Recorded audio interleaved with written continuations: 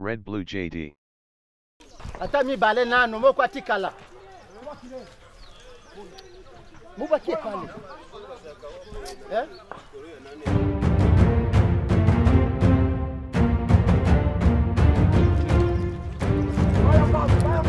ndabasuhuje mwese n'ubundi ni mu burasirazuba bwa kongo hafi y'u rwanda ni ho turi urusaku rw'imbunda nk'izi rusa n'urwabaye urusanzwe rwose kuko nta munsi wirenga rutumvikanye. N'ubu imirwano yongeye kubura hagati y'ingabo za leta ya kongo frdc ndetse n'abarwanyi b'umutwe wa emu makumyabiri na gatatu mu gace ka jomba muri teritwari ya rucuru ni mu ntara ya kivu y'amajyaruguru ahitwa bugusa rwose habaye isibaniro. Abatuye hafi aho nibo bafite inkuru yo kubara. Leta ya repubulika ya demokarasi ya kongo n'inyeshyamba z'uyu mutwe wa M23. Buri ruhande rurashinja urundi kongera kubura imirwano mu ntara ya kivu ya ruguru mu burasirazuba bw'igihugu. Ibi na byo bibaye mu gihe leta iri mu biganiro n'imitwe uruhuri ijagata muri iki gihugu. Ejo bundi urabyibuka neza hari tariki ya makumyabiri mata bibiri na makumyabiri n'ibiri. Nibwo i Nairobi perezida Tshisekedi yatangije ibiganiro n'imitwe irindwi yitwara gisirikare ikorera mu burasirazuba bwa Kongo ni ibiganiro atatinzemo kuko ahagana saa cyenda z'umugoroba hahise hamenyekana amakuru ko M23 yagabye ibitero ku ngabo z'igihugu i Rucuru uzi icyabaye? Abahagarariye uyu mutwe wa M23 bahise birukanwa muri ibi biganiro shishi itabona ndetse yewe kuri ubu uruhande rwa leta rurangajwe imbere na Serge Chibangu. Wari uyoboye ibiganiro. Rwemeza ko muri ibi biganiro nta kintu na kimwe bigeze bemerera iyi mitwe y'inyeshyamba. Mu biganiro bimaze iminsi bibera i Nairobi. Ikibazo cya M23 n'indi mitwe ihungabanya umutekano iri mu mashyamba ya Kongo si ikibazo kireba leta ya Kinshasa gusa. Ahubwo ni ikibazo cyabaye icy'akarere muri rusange. Ibihugu bya Uganda, Uburundi, Repubulika ya Kongo ndetse we n'u Rwanda byiyemeje gushyiraho byihuse umutwe w'ingabo z'akarere. Wo kurasa inyeshyamba muri Repubulika Iharanira Demokarasi ya Kongo za zindi zizanga kuganira ndetse no gushyira intwaro hasi. M23 yo binyuze mu muvugizi wayo Major Wiringoma ngo mu gihe leta itemeye kubahiriza ibiri mu masezerano bagiranye mu bihe bitandukanye imirwano ngo izakomeza nta kabuza kandi ngo biteguye kurwana kugeza ku mwuka wabo wa nyuma. Ni M23 imirwano ikimara kwaduka mu kwezi kwa gatatu leta ya Kongo yashinje u Rwanda ko ari rwo ruri gufasha umutwe wa M23 muri iyo mirwano. Ibyo leta y'u Rwanda na M23 babyamaganiye kure rwose. Ubu rero abanyekongo babarirwa mu bihumbi cumi na bitanu bahungiye muri Uganda. Abandi bagera mu bihumbi mirongo ine nabo bahungiye mu tundi duce twa Rucuru muri groupement za Jumba Busanza Bweza ndetse we na Bukoma. Abandi nabo babayeho mu buzima bwo kwikingakinga nta cyizere cy'ubuzima bafite rwose. None iyi mirwano igeze he? Izarangira gute? Ese twakizera ubufasha bw'ibihugu byo mu karere mu kugarura ituze mu burasirazuba bwa Kongo? Cyane ko iki gihugu cyamaze no kwinjira muri EAC byose rero reka tubiganireho ubwo wageze kuri Red Blue JD nk'ibisanzwe Jackson Semahoro niko nitwa. Kandi akazi kanjye ni kamwe. Ni ukukubwira ibyo amatwi yawe atigeze yumva na rimwe. Ikaze. Benshi mu baciye batanga ubuhamya. Nari mfite ikibazo cyo kubura urubyaro kubera ikibazo cy'imisemburo mike nari mfite. Naje kugana ivuriro eva life riramfasha ubu nanjye mfite umwana. Mu ivuriro eva life nayivurije ibibazo by'umwijima n'iby'amabanga y'abashakanye. Mwabyiyumviye ni ivuriro eva life rikorera nyabugogo ku mashyirahamwe rimaze kuba ubukombe mu rwanda no hanze yarwo mu kuvura indwara bakoresheje imiti y'ibimera kandi itunganyijwe neza mu buryo bw'ibinini pudre cyangwa liquide. Hari abadogiteri batandukanye bagufasha kandi icyiza ni uko aho waba uherereye hose ku isi imiti yakugeraho cyane ko bakorana na DHL mu ndwara bavura twavugamo nk'iz'imyororokere zose kurangiza vuba no kubura ubushake. Indwara zifata abadamu zose igwingira ry'igitsina indwara nk'umwijima diyabete amara igifu asima abifuza kuva ku biyobyabwenge nabo barabafasha. Ku bindi bisobanuro wahamagara cyangwa ukandikira muganga kuri zeru karindwi umunani zeru karindwi umunani makumyabiri na karindwi mirongo itatu. Eva life icyizere cy'ubuzima.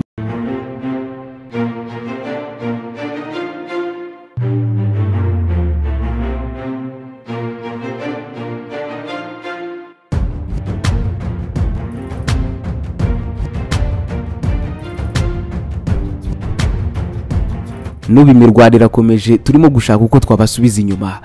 Biragaragara ko leta idashaka inzira y'amahoro mu kurangiza intambara. Uwo ni majoro w'iringoma ni umuvugizi wa emu makumyabiri na gatatu. Ibyo yabivuze ku munsi wo kuwa gatandatu tariki ya makumyabiri na gatatu ku kwezi kwa kane. Avuga ko imirwano yongeye kubura ndetse yewe ikaba ikomeye kurenza n'ikindi gihe. Iyi mirwano yaje mu gihe hari hatangiye n'ubundi biganiro bihuza perezida Tshisekedi ndetse yewe n'imitwe yitwaje intwaro igera ku icumi ikorera mu ntara za Kivu y'Amajyaruguru ndetse yewe n'iy'Amajyepfo yewe na Ituri nk'uko byemejwe n'inama y'abakuru b'ibihugu byo mu karere. Iheruka yabereye muri Kenya kuwa makumyabiri na rimwe uku kwezi kwa kane bibiri na makumyabiri n'ibiri. Uruhande rwa guverinoma rwahise rusaba ndetse rwemererwa iyirukanwa ry'uwo mutwe witwaje intwaro no gukomeza kw'ibiganiro hamwe n'iyindi mitwe. Aba barwanyi bayo mu makumyabiri na gatatu ni ukuvuga n'ababahagarariye birukanwe bazira n'ubundi kwangiza agahenge. Bagashoza intambara mu gihe kandi ibiganiro by'amahoro na byo bikomeje. Majoro w'iringoma ni umuvugizi w'uyu mutwe wa makumyabiri na gatatu mu itangazo we yavuze ko abasirikare ba FARDC ngo ari bo bashotoye maze bagatangiza imirwano.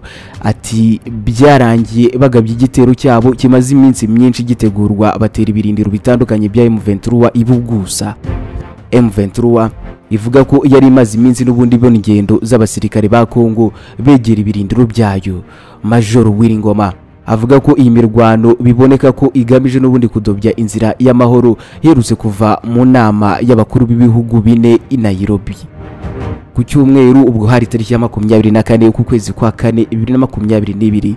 Ibiro bya perezida wa Kongo byatangaje ko ibiganiro byongeye kuba i Nairobi guhera mu masaha ya saa sita z'amanywa hagati ya leta ndetse n'imitwe irindwi yitwaje intwaro y'abanyekongo. Irimo itandatu yahageze ku munsi wo kwa gatandatu nimugoroba ariko kandi itarimo umutwe rurangiranwa wa M makumyabiri na gatatu. Ni inama n'ubundi yatumijwe ku munsi wo kwa kane tariki ya makumyabiri n'imwe ukwezi kwa kane n'ubundi itumijwe na perezida wa Kenya Uhuru Kenyatta.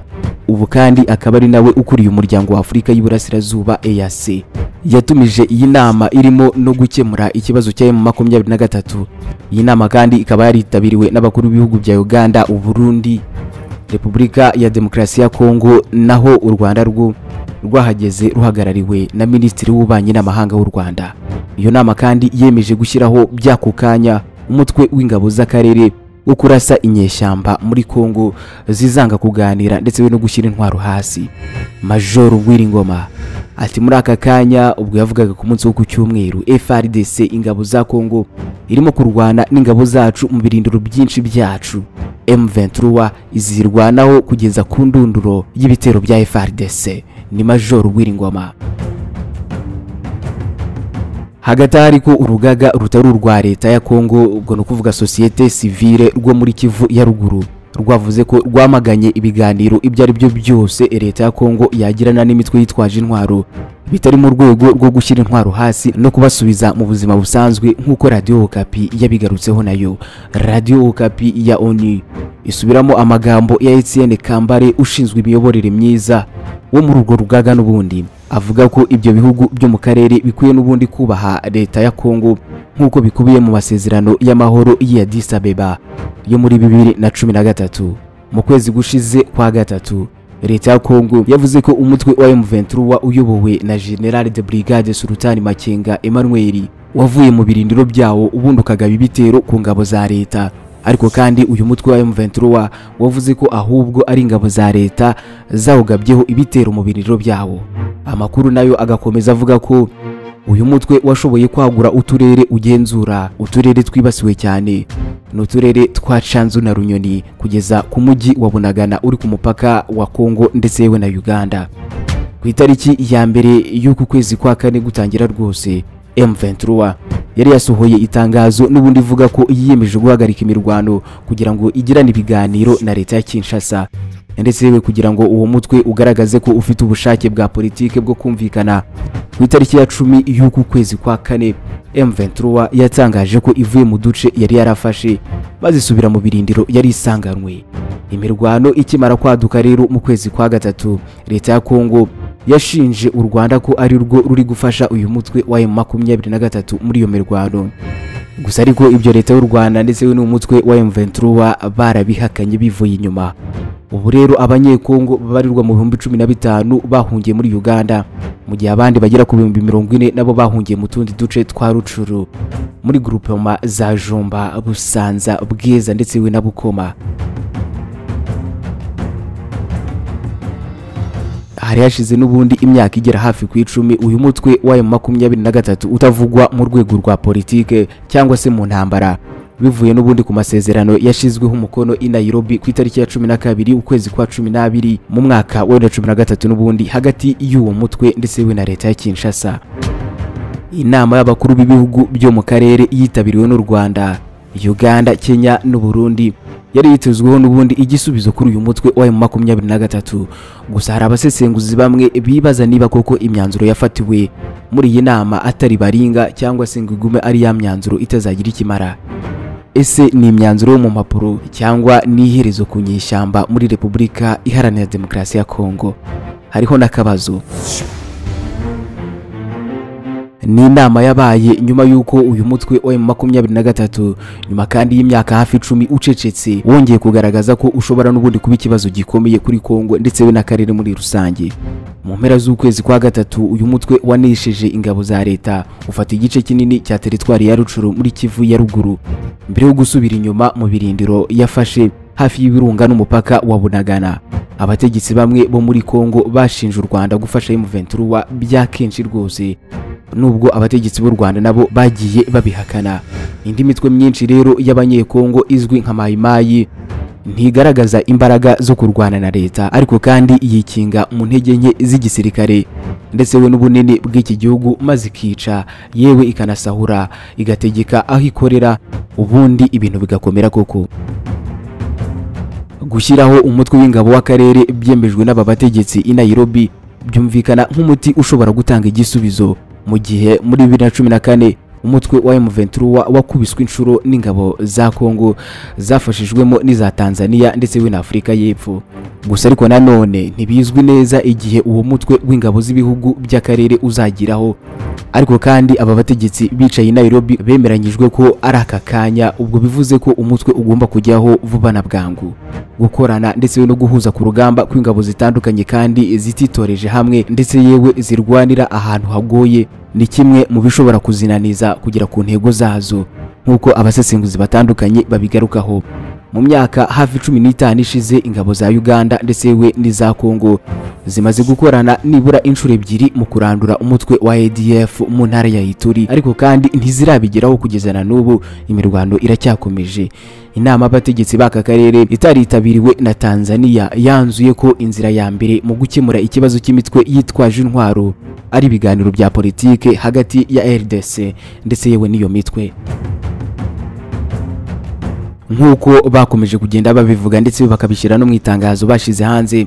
Bavuze ko imitwe yitwaje intwaro izananirwa kubikora yose ngo izafatwa nk'iyo kurwanywa kandi bigakorwa n'ingabo z'akarere zikabarasaho zivuye inyuma. Inama yemeje ko kandi umutwe w'ingabo z'akarere ukwiye guhita utangira by'ako kanya ukazaberwa na leta ya kongo aba bategetsi kandi bemeranyije guhura nanone mu kwezi kumwe nyuma yaho ngo barebe aho gushyira mu bikorwa iyi myanzuro y'iyi nama bigeze. Ngayo nguko bikomeje n'ubundi guhindura isura muri Kongo mu burasirazuba. Ubu rero amaso akaba ahanzwe umutwe w'ingabo z'akarere zose zizahuriza hamwe mu kugarura amahoro muri aya mashyamba ya Kongo kimwe mu bihugu binini aha kuri uyu mugabane wa Afurika nge nuko nsoje mwakoze cyane mwe mukunda ibiganiro byacu. Twitwa Red Blue JD naho ubundi nge nitwa Jackson Semahoro ibihe byiza ni byo mbifuriza.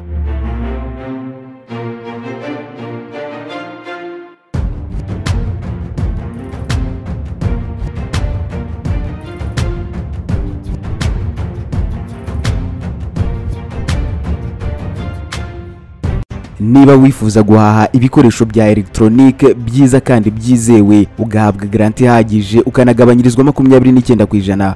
Gana simati kirike mu mujyi aho bakorera cyangwa kuri wa eshatu akadomo simati kirike limitedi akadomo sitowa ubigezweho ku buntu aho uri hose. Ushobora guhaha mudasobwa kamera z'umutekano akiseswari zose za mudasobwa ndetse n'ibindi bya elegitoronike ikindi kandi igikoresho cyawe cyagize ikibazo barakigukorera kigasubirana ubushya ku giciro gito cyane. Bahamagare kuri zeru karindwi mirongo inani na gatatu mirongo itanu n'umunani mirongo itanu na gatandatu mirongo itanu na gatanu. Ubundi wihahire byiza kandi byizewe ku giciro kikunogeye. Abacuruzi bafite ibicuruzwa na serivisi nziza ariko bafite ikibazo cy'uko abantu benshi batazi ubucuruzi bwabo. Hari icyo wakora ibihumbi n'ibihumbi by'abanyarwanda bakarara bamenya ibikorwa byawe. Muri red blue jd bakwereka uko ubigenza ubucuruzi bwawe bukamenyekana kandi n'abakiriya bakarushaho kukwegera no kukwizera. Bafotora ibikorwa byawe bagasobanura ubuziranenge bwabyo bakanabimurikira abakiriya. Bafotora abageni bakanababikira videwo z'ubukwe bwabo kuri YouTube ku buryo nta kibazo cyo kongera kubura amashusho cyabaho. Abaririmbyi babakorera amashusho y'indirimbo zijyanye n'igihe bakanabafasha kumenyekanisha ibihangano byabo. Abantu basobanutse bamaze kumenya ibyiza byo gukorana na Red Blue JD bakorera munsi y'isoko rya Kimisagara werekeza Nyabugogo. Wahamagara kuri 0788 36 53 55 byigeze bikubaho kwitabira ibirori. Inama cyangwa se ibindi bikorwa bikaba uhari ukabikurikirana kuva bitangiye kugera bisoje. Ariko nyuma y'ukwezi kumwe ugatangira kwibagirwa bimwe mu bice by'uko uwo muhango wagenze kandi wari uhari. Niba urimo kureba aya mashusho ni uko udashobora kwihanganira kureba amashusho no kumva amagambo atari meza. Turi miliyari zirindwi z'abantu kuri iyi si. Abarenga miliyari enye muri twe dukoresha interineti buri wese muri twe arihariye. Ateye ukwe afite ibyo akunda ku giti cye adahuje n'undi uwo ari we wese. None niba dutandukanye kubera iki twagira ubwoko bumwe bw'ibirori? Kubera iki inkuru zacu abantu bazibara kimwe ntabwo bikiri ibanga ko uwo ari we wese ko uyu munsi Red Blue JD ari kompanyi ifata amashusho ikanayatunganya igakoramo inkuru cyangwa se ibyegeranyo bidashobora guhaza ijisho cyangwa se ugutwi k'uwo ari we wese inshuro imwe. Red Blue JD ni inkuru yo kubara ariko cyane cyane ni inkuru ivuga uburyo abantu bafata amafoto meza y'ubukwe n'ibindi birori. Inkuru y'uburyo babika amashusho y'ibirori n'ibindi bikorwa kuri interineti ubwo ukaba ubonye uburenganzira bwo gutunga amashusho yawe ubuzima bwose. Nta muntu nzi wakoze ibirori inama n'ibindi bikorwa ngo areke gushimishwa no kongera kugira bya byishimo cyangwa se kwiyumva nk'uko yiyumvaga cya gihe. Ibi bikaba atagombye gusubiramo bya birori ahubwo akabikesha amashusho n'amafoto yafashwe mu buryo bwiza.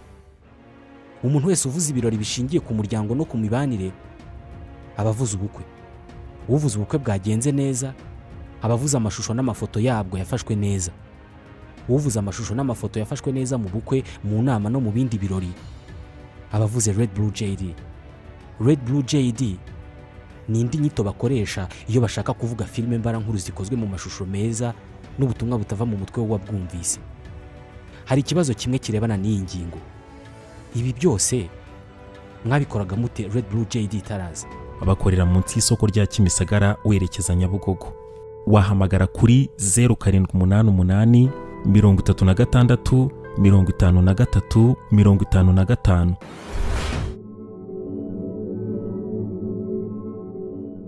Red Blue JD.